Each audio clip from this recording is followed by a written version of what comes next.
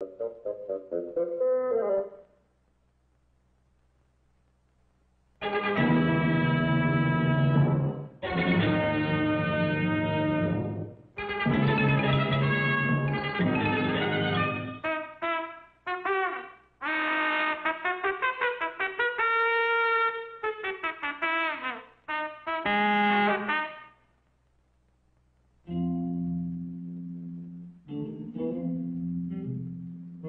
Thank you.